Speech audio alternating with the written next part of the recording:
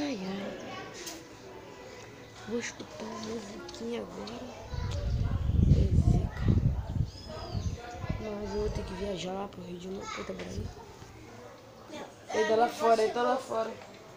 Meu pai, meu, minha avó, meu Então, vou lá.